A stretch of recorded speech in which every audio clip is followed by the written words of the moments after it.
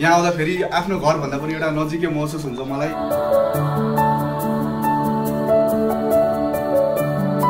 निरबहादुर रावतज्यूको हामी पुण्य आत्माले परमात्मा प्राप्त गरोस् वैकुण्ठमा उहाँको आत्मा लिनुहोस्।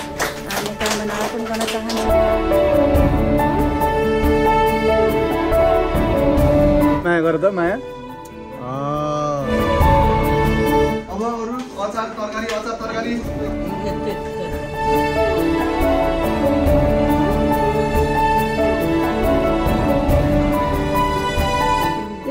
दुःखको बेला नल्लातालाई पनि उसले सहयोग गरेकी छिन् मेरो कान्छी बहिनीले।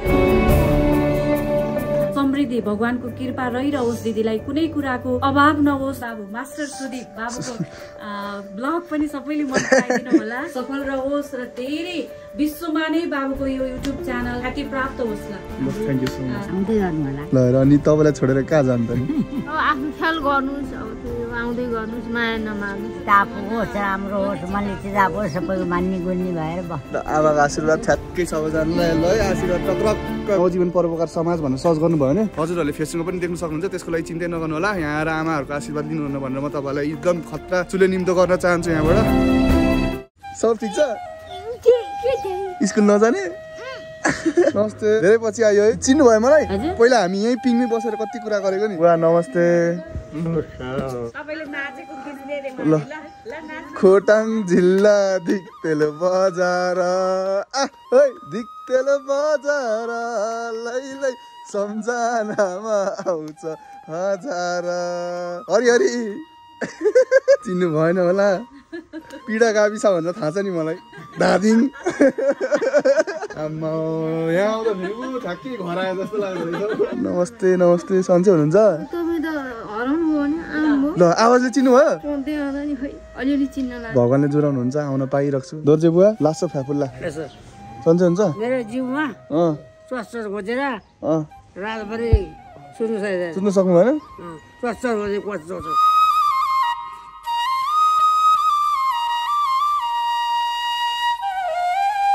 फ्यामिलीहरू अब चाहिँ खाना खाने टाइम भइसकेको छ। यस्तै दस बजीतिर हुन्छ अनि उहाँहरू अब बिस्तारै खाना खान जाँदै हुन्छ यतातिर खाना खाने ठाउँ मलाई चाहिँ यहाँको सबै कुरा थाहा छ क्या ओभरअल होइन। म पहिलेदेखि आउने भएको कारणले तपाईँले पहिलानेको पुरानो एक दुई वर्ष अगाडिको पुरानो पनि भिडियो हेर्न सक्नुहुन्छ। चम्बा दिदी हात धुँदै हो? के सबै ठिकै छ। मेरो बुहारी? छैन बिहा गरेको छैन। उहाँहरूसँग बिहा गरेर ल। अनि बिहा गरिहाल्नु त अहिले? के अर्को महिना गरौँ त वैशाखमा गरौँ? म वैशाखमा बिहा गर्छु अब। बच्चा पाउने बेला? भएर बिहा नै गरेको छैन भन्नुहुन्छ दुईवटा बच्चा हुनु पर्ने हेत्तेरिका म त कामै नलाग्ने भाइ क्या हो? अब त गर्छु गर्छु। अब चम्पातीले भने चाहिँ गर्नै पर्यो। ल फ्यामिलीहरू यतातिर चाहिँ अब यस्तो अर्गनाइज छ। यहाँबाट खाना आउँदैछ बिस्तारी। कति राम्रो आएको। झिलिमिली राम्रो फेरि एकचोटि हाँसिदिनुहोस् त कान्छा भोक लाग्यो कति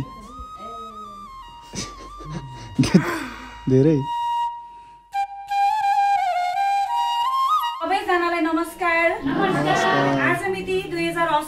बाह्र महिना उन्नाइस गतिका दिन साइप्रस निवासी सामाजिक व्यक्तित्व परोपकारी व्यक्तित्व हाम्रो नवजीवन परोपकार समाजको कुशल अभिभावक छ आदरणीय दिदी कल्पना कुमारी रावत उहाँले आफ्नो दाजु स्वर्गीय निरबहादुर रावतज्यूको पैतालिसौँ दिनको पुण्य तिथिमा नवजीवन परोपकार समाज परिवारलाई भोजन सेवा अर्पण गराउनु भएको छ र सेवा सहजीकरण गर्नका निमित्त हामी माझ उहाँको छोरा आदरणीय भाइ सुदिस थापा भाइ उपस्थित हुनुभएको छ। भाइलाई हामी हार्दिक स्वागत अर्पण गर्न चाहन्छौँ नवजीवन परोपकार समाजमा।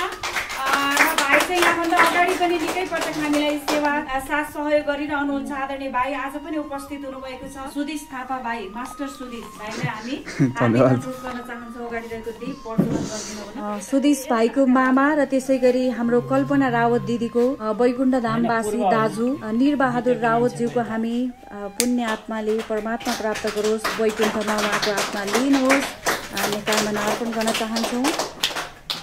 जय होस्। आदरणीय भाइ लगायत हाम्रो नोरा दिदी सम्पूर्ण परिवारको सुस्वास्थ्य दीर्घायुको कामना र दिदी जहाँ रहे तापनि सुस्वास्थ्य दीर्घायुको कामना अर्पण गर्न चाहन्छौँ। र दिदी चाहिँ आजदेखि हाम्रो यस संस्थाको सदस्य पनि बन्नुभएको छ। हाम्रो सदस्यता बन्नुभएको छ। यस संस्थामा स्वागत छ हाम्रो कल्पना दिदी नोरा दिदीलाई स्वागत छ दिदीको। साथ सहयोग हामीले यसरी नै पाइराखौँ र बाबुलाई पनि हार्दिक धन्यवाद। सबैजना बुवा आमाहरूलाई एकदम एकदम नमस्ते। हजुरहरूको आशीर्वाद हजुरहरूको मायाले गर्दाखेरि यसरी बिस्तारै बिस्तारै हुर्किँदैछु म। अनि सधैँभरि यसरी नै आइराख्न पाऊँ। एउटा परिवार जस्तै भएर घुलमिल भएर अगाडि नै बढी नै रहेको छु। अब हजुरहरूलाई देख्दाखेरि होइन एक दुई वर्ष अगाडि सानो भाइ अब अहिले यत्रो ठुलो भइसकेको छ एकदम खुसी लागेको छ। अनि हजुरहरूले पनि बिर्सिनु भएको रहेछ मलाई। अनि हाम्रो चम्पा दिदीलाई पनि धेरै धन्यवाद। अनि चिनिराख्नु भएको छ। पिडा गाविसाको हाम्रो सासु बुहारी आमाहरूलाई पनि नमस्ते। अनि सर्वप्रथम त एकदम थ्याङ्क यू सो मच नवजीवन भोजन सेवा अर्पण सधैँभरि यसरी नै खुसी भएर एकदम हुन्छ नि एउटा परिवार जस्तो बनेर। यहाँ आउँदाखेरि आफ्नो घरभन्दा पनि एउटा नजिकै महसुस हुन्छ मलाई। एकदमै मनबाटै भनिरहेको छु। अनि मम्मीले पनि मलाई जा भाइ जा सम्झी आमा बुवाहरूसँग आशीर्वाद लिई यही नै होस् जीवनमा सबैभन्दा ठुलो कुरा भनेर मलाई सधैँभरि यसरी नै सम्झाइरहनु भएको छ मम्मीले पनि। सधैँभरि यसरी नै साथ दिनु सधैँभरि यसरी नै माया दिनु भन्दै अब हजुरहरूलाई भोक लागिसक्यो खाना हामी सेवा गरौँ भन्न चाहन्छु।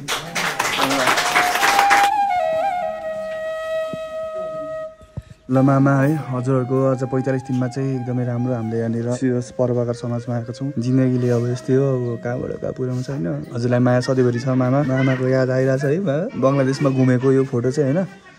अब यस्तै हो। सम्झना नै रहिरह्यो अब केही गर्न सकिँदैन नि होइन? के यस्तै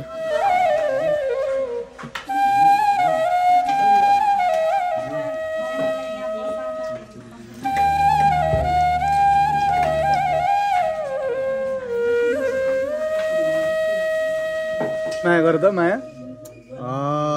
भेरी भेरी गुड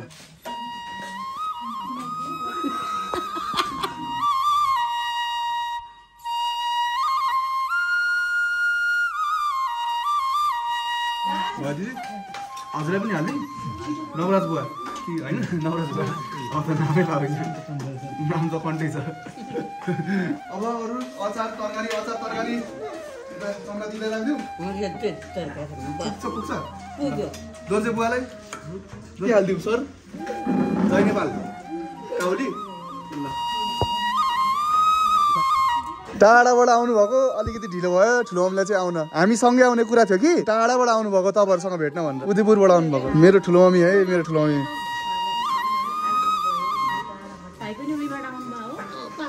दाजुको आज पैँतालिसको तिथि हुँदैछ घरमा अनि मेरो दाजुको सम्झनामा चाहिँ यहाँनिर बहिनीले माध्यम मिलाइन् दिदी जाट पनि भनेन् अनि अब शरीर सबैको एकै हुँदैन। कुनै बेला कस्तो अब यस्तै हामी पनि भोलि यस्तो हुँदै सक्छौँ स्वर्गवासको शुभकामना। कामना गर्दै मेरो दाइलाई स्वर्गवास होस् भनेर चाहिँ म खानपिन कार्यक्रम भइसकेको छ अब बिस्तारै यहाँ रेस्ट थकाइ मार्न आउँदै हुन्छ बुवा आमाहरू। अनि तपाईँलाई चाहिँ आएर कस्तो लाग्यो त यहाँ आश्रममाहरूले अब सेवा गरिराख्नु भएको रहेछ कति राम्रोसँगले। अब यस्तै रहेछ जिन्दगी सबैको यही त होला बा भोलि हामीले पनि बाइसी गरी बग्नुपर्ने हो कि जस्तो मनमा। उहाँ देख्नु भएको छ नि?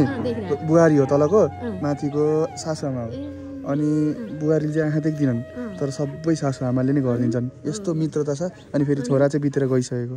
धेरै दुःखको बेला नलनातालाई पनि उसले सहयोग गरेकी छिन् मेरो कान्छी बहिनीले। अब हाम्रो बहिनी चाहिँ अब के भगवानै भएर जन्मी छिन् अथवा मेरो बहिनीले रकम पठाउनु पठाइरहेको छिन् दस हजार पाँच सय रुपियाँ म शान्ति तिहारी बहिनीलाई चाहिँ दस हजार पाँच दस हजार पाँच। दस हजार। पाँच। दस हजार। पाँच रुपियाँ पैसा चाहिँ मेरो बहिनीले पठाएकी रहेछिन् अब त्यसको योगदान मेरो बहिनीले यो संस्थालाई धेरै गरिराखेकी रहेछिन्।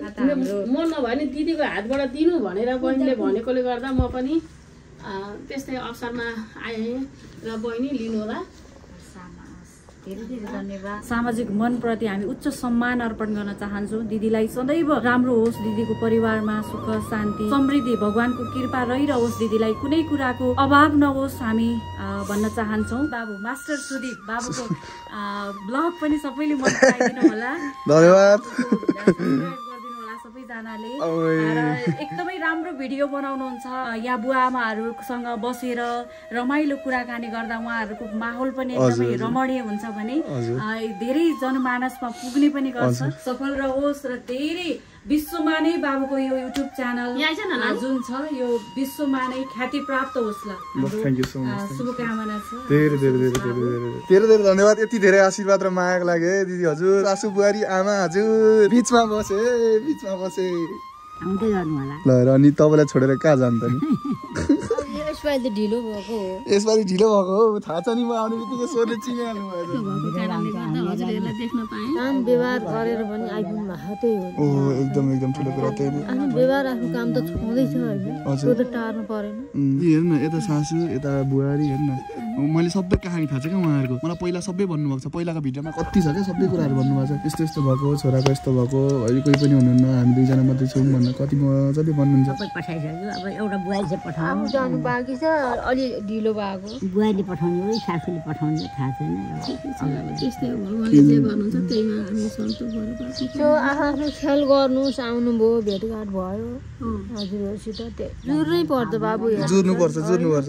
जसले पनि जहाँ पनि त्यो भेट हुन जाउँ जाउँ लाग्छ आफ्नो अन्तै जान परेको काम हुन्छ होइन। जुर्नु परेन। जुर्नु पर्यो जुर्नु पर्यो एकदम सही भन्नु ढिलो र चाँडो हुन्छ। तर आउनु भएकै छ आउनुहुन्छ यहाँ खाली हुनुहुन्न। खाली टाइम टाइममा खाली आफ्नो ख्याल गर्नुहोस् अब त्यो आउँदै गर्नुहोस् माया नमार्नुहोस् हस् हुन्छ ल भिडियोमा हेरिराख्नु भएकोलाई आशीर्वाद दिनु त। ताप होस् राम्रो होस् मनले चाहिँ जाप होस् सबैको मान्ने गुन्ने भएर बस ल आमाको आशीर्वाद ठ्याक्कै सबैजनालाई ल है आशीर्वाद टक्रक।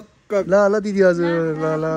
ल प्यारो फ्यामिलीहरू अब यहाँनिर सबै कुरा भेटघाटहरू भइसकेको छ। यहाँको बुवा आमाहरूलाई पनि हामीले बिदा गरिसकेको छौँ। अब बिस्तारै यहाँबाट लाग्नुपर्ने हुन्छ। त्यही हो फ्यामिलीहरू जिन्दगीमा जति नै सुकै कमाए पनि हुनेवाला केही छैन। आखिरी जानुपर्ने सबैजना यही माटोमै मिसेर हो। त्यही भएर आफूले जे जति सकिन्छ त्यो कुरा हामीले सहयोग गर्नु बिर्सिनु हुँदैन। युथले युथले भनेको कुराहरू त मान्नुहुन्छ। किनकि अब जे गर्नुपर्छ अब अहिलेको नयाँ जेनेरेसनले गर्नुपर्ने हुन्छ। त्यही भएर आफूले सक्दो यसो कहिलेकाहीँ जन्मदिनको अवसर मिलाएर अथवा केहीको एउटा केही सुवर्ण अवसर अथवा केहीको तिथि मिलाएर अथवा कसैको केही एउटा उत्सव जस्तै मनाएर तपाईँहरूले यहाँनिर भिजिट गर्न सक्नुहुन्छ। नवजीवन परोपकार समाज भनेर भनेको छ। अब तपाईँहरूलाई फेसबुकतिर पनि हेर्नु भने देख्नुहुन्छ। फुटुङ तर्केश्वर नगरपालिका साथ काठमाडौँ नेपाल है नम्बरहरू सबै कुरा छ। नवजीवन परोपकार समाज भनेर सर्च गर्नुभयो भने। हजुरहरूले फेसबुकमा पनि देख्न सक्नुहुन्छ। त्यसको लागि चिन्तै नगर्नु होला यहाँ आएर आमाहरूको आशीर्वाद लिनुहुन्न भनेर म तपाईँलाई एकदम खतरा चुले निम्तो गर्न चाहन्छु यहाँबाट। अनि दिदीहरूलाई सधैँभरि यसैभरि हुन्छ नि अब केही भन्नै पर्दैन। हामीले त है हामी त एक दुई दिन आएर बस्ने मात्रै हजुरहरू त सधैँ यही बस्नु भएको छ। हजुरहरूकै साथ सहयोगले गर्ने नै हो हामीले पनि होइन? सेवा गराउने मान्छे चाहिँ झन् महान हुन्छन्। हामी त यहाँ अब यहाँ गर्नेहरू सदैव गरिरहेकै हुन्छौँ। तर पनि हजुरहरूको साथ सपोर्ट भएन भने हामी त अधुरो नै हुन्छौँ है धेरै धेरै धन्यवाद हुन्छ हुन्छ। बिस्तारै अब यो भिडियो हेरेर मेम जहाँसम्म लाग्छ आउनुहुन्छ भनेर मलाई पूर्ण विश्वास छ। ल बाई बाई हजुर। फेरि फेरि भेटौँला ल ल ल।